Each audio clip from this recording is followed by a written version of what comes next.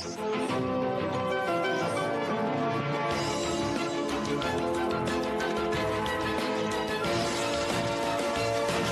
友们，下午好，欢迎您收看由实战派股票学习平台九方智投独家冠名播出的《天生我材下午吧》五谷丰登。为您介绍今天请到场内的嘉宾啊，来自国泰君安的高级市场分析师蒋一凡。一凡你好，大威你好，你好啊。那么今天市场进一步的下跌，那么从呃跌的这么一个情况，具体情况来看的话呢，基本上上午和下午分别各杀了一波，从分时上是这样的。那么也恰好啊，本周今天是周三，前面有两个交易日。回顾啊，今天这两波下杀正好跟前面周一周二每天节目我在开场所讲到的内容其实是有一个对应关系的。比如上午这一波杀跌，大家回想一下，昨天我们在开场的时候聊了什么啊？杀的是什么？杀的就是一些以机构为主导赛道的相关的品种。昨天我们跟大家交流的是什么？昨天我们恰恰是在市场来到这么一个临界点的时候提醒大家啊，机构赛道这一块儿，我们后面要观察。它是不是要犯一个老毛病？打引号的毛病，就是由于这个结算的机制，包括我们相关的基金经理他的风格的原因，很多时候机构赛道的品种会在下跌趋势的末端的时候或者后半段的时候，被机构资金再反砸一下、反踢一下，有一个趋势加强的这么一个态势啊，这是历史上由来已久的。我们说要观察。今天似乎上午就出现了一点这样的迹象，那么下午这一波杀，我们回想一下，在周一的节目开场的时候，我们聊到了什么？聊到给大家八个字的提醒啊，第前面四个字跟下午的杀跌关系就比较大，叫什么叫守住边界？后面四个字叫一事一议啊，这个咱们不提。守住边界，当时提醒大家，虽然我们在周一的时候已经觉得除了三零零票，好像其他票都没法玩了，还真想过去，但是。你自己是什么派别的，适合做什么，要想清楚。那么今天市场下午的这么一个杀跌，应该给我们了一个很好的警醒和教育啊。那么关于下午这波杀跌，我不想再多说了，因为这些三零零的股票，呃，很难去给它定价。你说今天跌到没到位，判断不了啊。跌回去有的也正常，但是对于上午杀跌的这些机构赛道品种，我必须再多说一句，就是。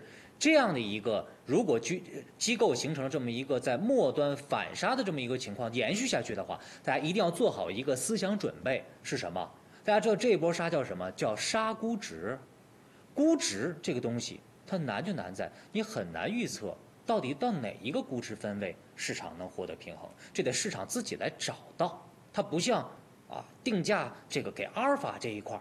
风格去定价啊，那么从这个盈利测算等等角度可以去有一个定价，但是给这个估值去定价，这个很难去预测，所以说大家要做好思想准备啊，你能承受多少的跌幅？另外，你选的这个品种，啊，是不是有十足的把握和相关的赔率啊？这个一定要在一开始的时候做好充分的思想准备啊。好，那么开场我们就说这么多，对于市场具体的判断。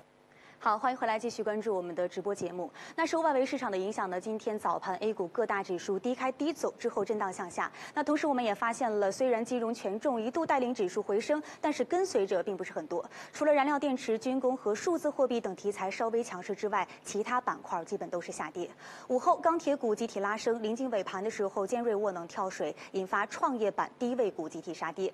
那么创业板注册制以来呢，首支百分之二十跌停股诞生啊！安控科技封在跌。停板上，截止收盘，跌幅超百分之十的个股有一百二十多家。最后，我们来看一下具体的点位报收情况。截止收盘，上证指数下跌了百分之一点八六，深成指下跌了百分之三点二五，中小板指也是收跌啊，跌幅有百分之三点二三。创业板指今天跌幅最深了，有百分之四点八的跌幅。科创五零今天同样收跌，有百分之三点四六的跌幅。恒生指数是下跌了百分之零点六三。另外，北向资金方面呢，今天是全天合计净流出三十七点五八亿元。再来看一下涨跌家数吧。今天上涨家数比较少啊，只有六百八十七家；下跌家数是三千一百九十二家，其中跌停二十五家。那以上呢就是今天的收盘情况，整体的市场氛围还是比较低迷的。该怎么去分析呢？大卫？好，一般先来说今天这个下跌啊，大家普遍会把锅甩到这个隔夜的外围市场的表现啊，美股又出现了比较大幅的这么一个下跌。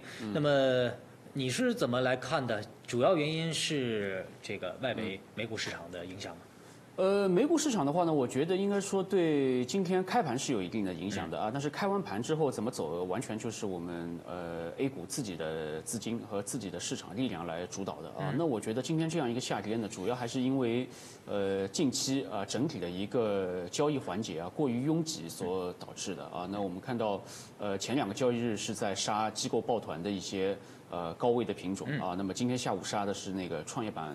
呃，所谓的也也可以呃说它是一个抱团的品种吧。那么总体来看呢，就是呃前期涨幅相对比较大的呃这些呃品种啊，不管是主板也好，还是创业板也好，都出现了一个呃筹码大幅松动啊，从高位。呃，开始有资金出逃的这样一个迹象啊，那我觉得呢，主要原因还是因为我们呃市场自己的原因啊。那因为呃总体来看呢，还是物极必反啊。因为呃你看到创业板啊那么多的低价股，不管呃基本面好还是不好，公司经营的怎么样啊，只要是低价股我就涨啊。那么这种呃脉冲式的上涨呢，我觉得必然是呃很难以去持续的啊。所以你认为今天市场下跌？很大一部分原因是我们 A 股自身内部结构的问题所导致的，是吗？好，那我们既然说的这些三零零的相关品种，我们就来说一说。今天虽然说截至收盘来看的话呢，呃，三零零的相关的这些炒腰的品种有跌停的一个啊，百分之二十跌停的，呃，大跌的也不少啊，几十上百只，这个百分之十以上下跌的三零零的个股，但是。他们就这样直接结束了吗？嗯，真是不好判断。嗯，呃，再结合这个昨天呃收盘之后，交易所这个呃我们看到公布了呃三只典型的三零零炒作的个股被停牌掉了。嗯，啊，那么你怎么来看待他们未来的这么一个走向？嗯，好，呃，我觉得创业板低价股整体性的这个行情呢，大概率是告一段落了啊。呃，因为从呃目前整体的市场的。呃，情况来看呢，我觉得呃，整个低价股板块齐涨齐跌的这样一个。呃，行情呢，我觉得还是不可持续的。那么，尤其呢是昨天，呃，我们看到被停牌的三只标的，那么在复牌之后呢，我觉得大概率，呃，也会出现啊比较大幅的调整啊。那么对整体，呃，市场的人气或者说信心，我觉得也会有比较大的影响。那么，并且呢，我们可以看到，呃，昨天停牌的时候呢，呃，监管部门呢是特地提到了一个我们之前从来没有看到过的一个名词，叫做新型的。呃，股价操纵的这样一个手法啊，呃，那我所以呃，我觉得就是整体，呃，监管部门对于这批。呃，低价股、创业板低价股的一个整体的炒作呢，我觉得应该说啊，态度还是相对比较谨慎的啊。那我觉得呃，后续呢，应该说这种呃炒作的这种势头啊，或者说热度呢，我觉得还是会有所下降。当然，也不能排除说有个别的品种啊，它可能还会涨。但是整体来看，我觉得呃，这波呃创业板的这个行情呢，应该是告一段落。好，这是一凡的判断啊。当然，有些朋友会说，哎，那你看今天这个三零零里边跌停那一只，它有什么特？特点，我们来看一下它有什么特点。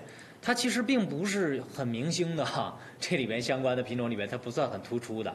它恰恰其实涨得并不是特别多，也就是所谓的，如果您是博弈派的，经常炒这个题材的啊，这种风格选手，你很明白能看着这，这属于叫后排起来的东西。前排的像这个天海防务，我记得今天盘中震荡很大，但是最后呢，哎，人家跌幅倒还不在前列，对不对？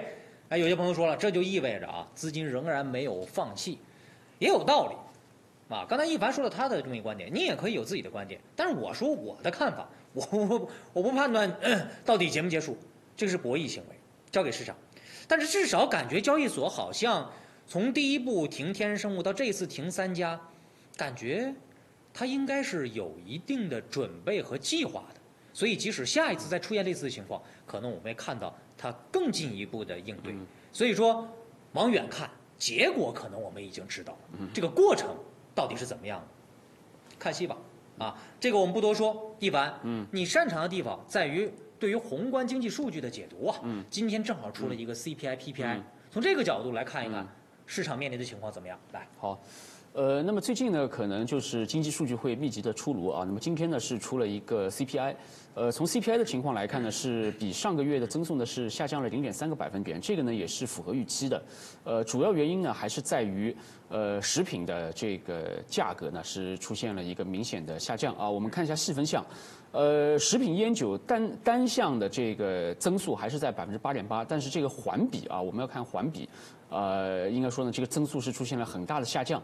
呃，这边没列出来。那么环比呢是呃只增长了百分之一点四，上个月的时候还是在百分之二点五。那么呃总体来看呢，还是因为那个猪肉价格是进入了一个下跌的通道啊。呃，那么猪肉的价格呢，从进入了那个八月份之后呢，就呃连续的这样一个小幅的下跌啊。那么目前呃整体上的判断呢，呃到今年底之前呢，猪肉呢可能呃整体的价格走势呢还是一个缓慢下行的一个。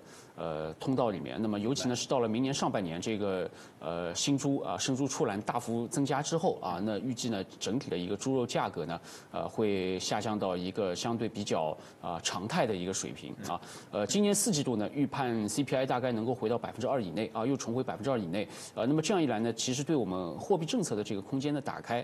呃，也是一个蛮好的消息，因为之前可能因为，呃，CPI 走走的比较高啊，可能呃货币政策呢相对是比较谨慎，已经连续一个月啊，我们看到没有特别大的动作了。那么我觉得可能到四季度啊，可能这个空间又会慢慢的出来。嗯，PPI 上有什么亮点吗？呃，PPI 的话呢，我觉得呃总体来看呢还是符合预期的啊。那么呃还是在降幅不断的收窄。呃，但是呢这个月和上个月相比呢还是有些细微的差别。那么主要呢是那个原油的这个涨幅是明显的收窄，但是呃上个月那个黑色系表现表现的还是比较突出的，那么贡献了绝大部分的涨幅。呃，所以呢最近盘面我们也看到，其实呃黑色系相关的这个板块和品种表现的还是比较好的。对。像钢铁啊、煤炭，其实表表现都挺好的。对。对。呃，那么所以呢从 PPI 这个角度。来看呢，我觉得下半年，呃，工业品这一块呢，我觉得机会还是比较大的啊，肯肯肯定会比上半年要来的更大一些。那么，而且呢，由于呃绝对的位置还是属于相对比较低的位置，那我觉得可以重点关注一下。呃总体汇聚这个数据，包括刚才你对于呃盘面结构的判断，你对于市场指数这一块给一个结论吧。好。呃，那指数呢？我觉得，如果说我们看那个沪指啊，呃，上证主板指数的话，那我觉得，呃，这个下行的空间呢是非常有限，因为整体呃经济复苏的态势表现的还是非常好的。那下方呢，我觉得三千两百点左右，呃，支撑是比较强的。但上方，呃，三千五附近呢，我觉得一方面是因为，呃，一六年到一八年啊，密集套牢区啊就在这个位置，那么再加上呃海外市场的一些噪音啊，那我觉得呢，三千五百点呃阻力呢也是比较大，但更多呢是。一种呃心理层面的阻力。那么九月份，呃，我觉得呢，总体还是在三千二到三千五一带震荡。那么目前这个位置三千两百五附近，呃，其实呢，我觉得再进一步的恐慌呢也没有必要啊。有可能呢，短期我们就可以看到市场会有一个企稳的过程。哎，这个观点，我们连线嘉宾来自申万的李阳是否同意？我们来听一下啊，李阳你好。好的，主持人。在近期节目当中呢，我曾经对大盘做出了非常明确的判断。首先，我认为上证指数三千四百五十点两次遇阻回落，形成了一个较为明显的箱体顶部的特征，市场将重新返回箱体运行。而且认为大金融带动沪指上的三千四，并不具备向上突破的条件，不会直接加速，极有可能会无功而返。所以在操作上面，这一段时间要大家远离超涨股，远离累计升幅较大的品种，宁可错过，不要做错。那么在上周的节目当中呢，我还明确提出啊，要大家关注创业板中中低价品种的补涨的机会。可以看到最近一段时间，最近几天市场的调整的幅度还是非常的明显的。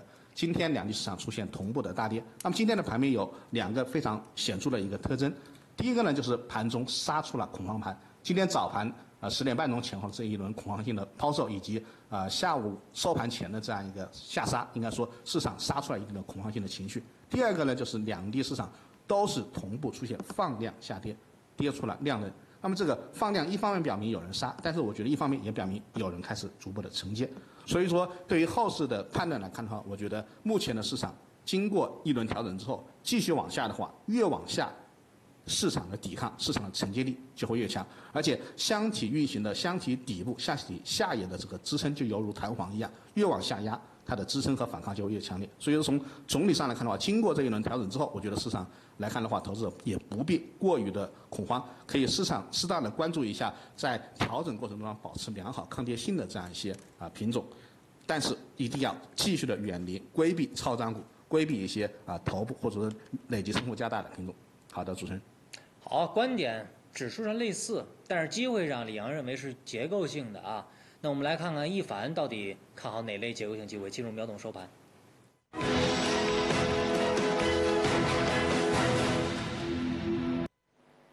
学炒股上九方智投，欢迎来到由实战派股票学习平台九方智投独家冠名播出的《天生我材》直播节目。接下来一起进入秒懂收盘。那今天股指呢是再度下杀，那么在大多数板块都没有能幸免的市场当中，却有这样几个板块啊表现出极强的抗跌性。像钢铁板块今天是逆势大涨百分之二点二四，行业个股当中的重庆钢铁、九钢、红星涨停，有七成的个股红盘。煤炭采选方面呢，今天是一度最高涨幅达到百分之一点三四，尾盘虽然随着市场下杀有所回落，但是板块的抗跌性依然非常明显。个股郑州煤电涨幅百分之九点九五，云煤能源也有百分之三点五五的涨幅。此外，金隅集团和正源股份还有金刚玻璃等部分的建材个股也都有不同程度的上涨。其实我们不难发现啊，今天逆势表现的行业和个股当中呢，都有一个共同的特性，那就是顺周期概念。大卫，还有一个共同的特性，价格都比较低。对，尤其那几个钢铁股价格特低啊，煤炭其实也是。嗯，很多朋友说这个其实不用看它的行业，它其实就是从创业板当中低价低市值个股炒作传染过来，或者不是不要传染传导过来的这么一个风格传导。嗯，那一凡你是这么看吗？因为刚才你提到 PPI 的时候，似乎也引导像黑色系的一些品种。对。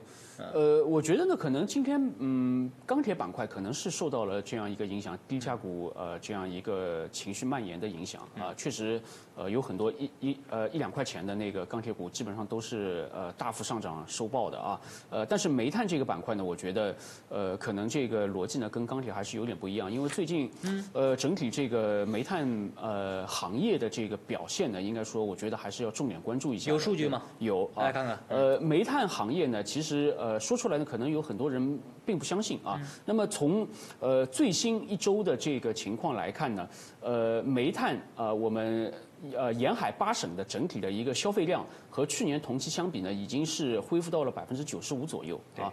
呃，那么总体的那个。呃，供呃供应量啊，供煤量啊，可能呢是只有往年的百分之九十不到，百分之八十九只有啊。那么所以呢，从这个数据看，就呃消费量是在百分之九十五啊，但是呢那个供货量只有百分之九十不到，那么就说明呃近期这个煤炭整个市场呢是出现了一个有点呃供不应求的这样一个情况。如果说你把那个动力煤价格打开来看一下它的 K 线图的话，呃可以看到呢就是最近呃整体的一个动力煤的价格是非常的强势啊，一直是保持在一个上涨呃。通道里面，并且呢，往后看的话，呃，其实呢，煤炭行业在四季度还有一个比较明显的催化剂啊，就是因为呃，四季度现在判断下来，进口煤的这个量。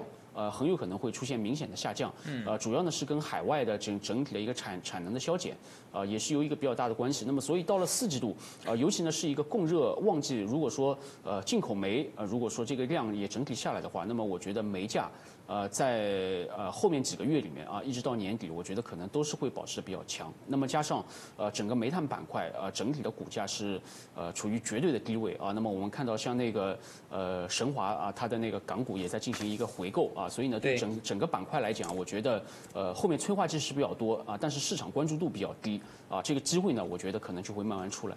嗯，这个煤炭品种当中是否这个有差异化？因为我们知道在煤炭这个期货上，对，其实有不同的品种，不一样的品种啊。这个煤炭的产品其实也各有不同，对，啊，有做这个焦煤的呀，是吧？有做这个动力煤的呀，等等，都不太一样。对，那你重点看好的是哪一块的？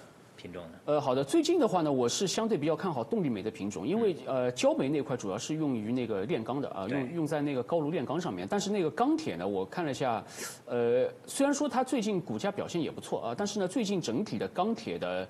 呃，一个产量和那个库存的指标呢，其实并不是特别的好。那么，比如说上周我们看到那个呃库存其实是有一个比较明显的上涨的啊，那么就说明可能呃下游的这个需求呢，就是没有此前一两个月来的那么的旺盛啊。呃，但是呢，它的股价上涨可能是跟那个它价格绝对价格比较低有关系啊。但是真正啊，我觉得在呃基本面上，我觉得未来比较好的倒是这个煤炭啊，我觉得是比较好一点。好，跟动力煤的这么一个产品相关的公司啊，大家。有兴趣可以关注。我还有一个问题是什么呢？油，嗯，其实这两天跌的也不比这个外围股市要少啊，对，嗯，对不对？这个原油我们常常说它叫周期之母，对，它往下跌的话，同属周期，尤尤其又是资源类品种的煤炭，嗯，它会不会受负向影响呢？嗯，好。呃，那么总体来讲呢，我觉得油价如果说出现下跌的话，那么对全球的资源品的价格其实都有一定的影响。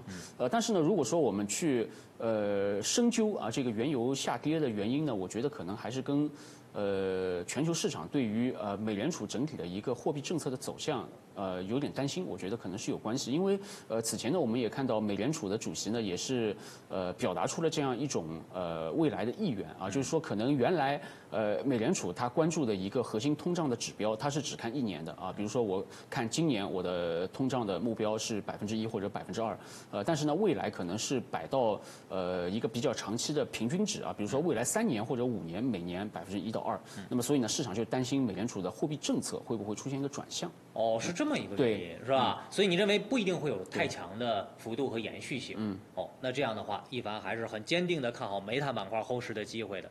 听起来也是一个中期的这么一个机会啊，中短期啊的一个机会，应该到四季度都可以看一看。好啊，这个板块我们放在这儿，后续等待市场的印证啊。好，感谢一凡的精彩分享。我们下面呢要进入研报优选了，想要和苏兆博交流的朋友，可以扫描屏幕下方的二维码。我们有请。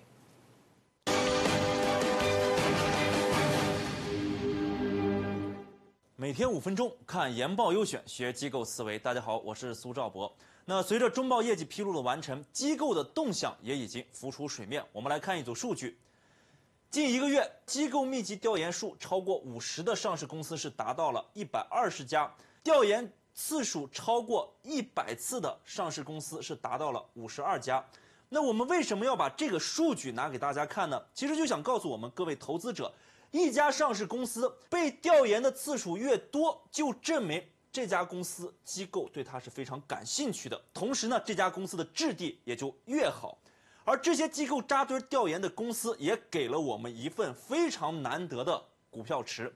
那么，机构扎堆调研的上市公司到底它表现如何呢？我们来看一组数据：歌尔股份和立讯精密啊，我相信都是大家非常熟悉的案例啊。歌尔股份在二零二零年四月三十号，当时在震荡调整的过程中，有两百三十五家机构是逆势调研。随后呢，我们看到股价是走出了一波波澜壮阔的上涨行情，区间涨幅也是达到了百分之一百三。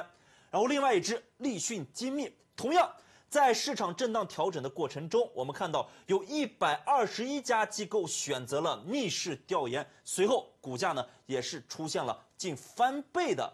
涨幅，那么所以说，在近期啊，我们认为在市场调整的过程中，那些被机构资金以及机构密集调研且加仓的品种，往往在后市也能够给到我们非常可观的收益。那好，我们再来看一只案例标的，那么这家公司是国内领先的模拟芯片设计企业，受益于国产替代的成长空间广阔。而近一个月以来，我们发现，竟然有一百五十家机构选择了密集调研。多家券商也是给予了买入的评级。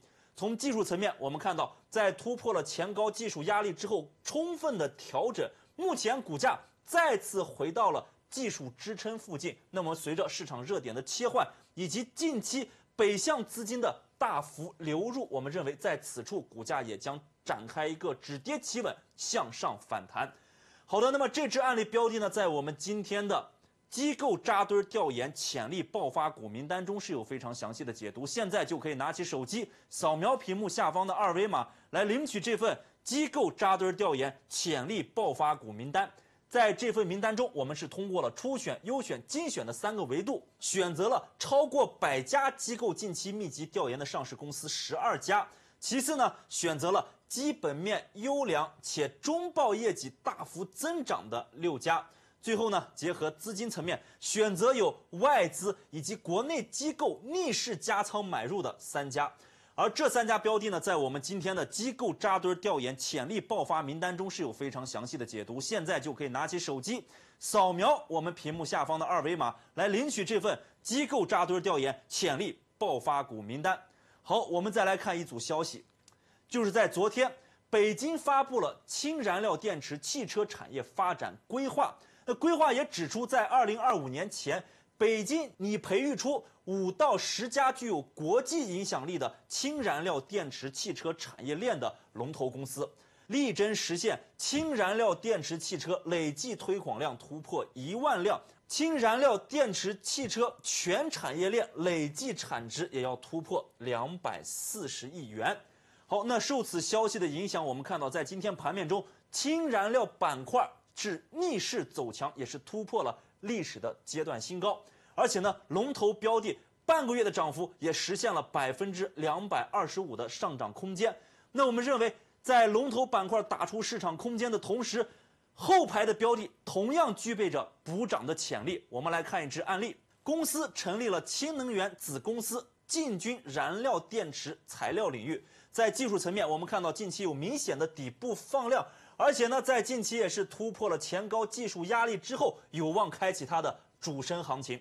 好的，那么这支案例标的呢，在我们今天送给大家的氢能源潜力龙头股精选名单中是有非常详细的解读。现在就可以拿起手机，扫描屏幕下方的二维码来领取这份氢能源潜力龙头股精选名单。在这份名单中，首先我们选择了氢能源细分行业龙头十二只，其次选择了技术层面保持着强势放量、有望加速的六只，最后呢，结合资金层面。有主力资金大幅加仓买入的三只，而这三只标的呢，在我们今天的氢能源潜力龙头股精选名单中是有非常详细的解读。现在就可以拿起手机，扫描屏幕下方的二维码来领取这份。好，我们来到短线风口啊，今天我们仍然是请到王建王老师做客现场，跟大家进行交流。王老师你好，大卫好，你好啊，今天还得问您这个问题。这超跌反弹，我们本来大家会觉得，哎，昨天收盘就觉得应该是快了，嗯。但是今天这一跌之后啊，嗯反而大家觉得这是不是来不了了？嗯，因为信心被跌没了，这个均线一下子上证指数六天均线就给穿过去了。您怎么看这个超跌反弹？市场不是给了一个非常好的一个正面信号吗？咱们来看一看，大家不要只是关注于这个黑线图的这样的一个价格，你别忘了下面还有成交量啊。我一直去讲，对于我们去看行情软件的话，量价量价同等重要，各占百分之五十。刚才大卫老师其实也说了，它确实是今天击穿了这个六十天均线，但是你去看，朋友们，它在之前横盘也好，回落也好，它的量一直是没有放的。我这个五十天成交量均线，你去看，就在今天击穿这个均线的时候，它的量是有明显放大，比昨天大很多了，对吧？